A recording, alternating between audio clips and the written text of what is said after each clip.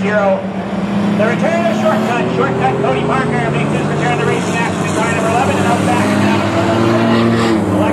two rear as the car was misfiring at the end of the makeup feature. So Adam Knowles going to start tail in heat race number one for the two to go show six shooters here tonight.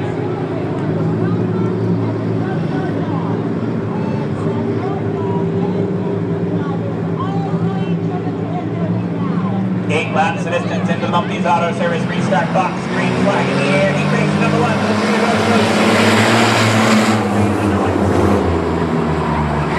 Zach Washburn shot out of a gear, cutting for 49. He leads that back steering.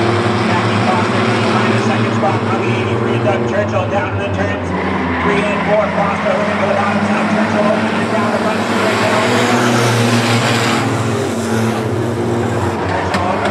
Foster goes the whole side by side for spot number two. The 12 of Jeremy Hayes and Tillman to battle in behind them between James and and Ryan McCarthy.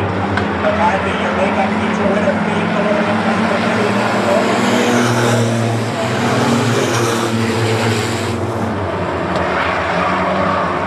Zach Washburn will play in to help the advantage on the battle for second spot. Jackie Foster, the 06 and the 12 of Hayes. And James moves up into fourth spot now. Foster